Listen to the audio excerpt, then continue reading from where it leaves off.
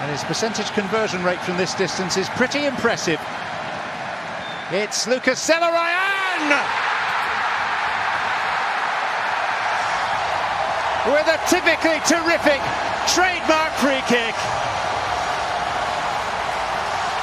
Nobody does it better in Major League Soccer than Lucas Zelarayan. It's such an up and down first season in Major League Soccer. He hired a sports psychologist to just get his mind right. And then we saw what he did in the playoffs and in MLS Cup last year. He plays with an edge. He's a tough player. He's one you want him on your team. But most importantly, he's an absolute game changer. And he's that special kind of player that in the blink of a moment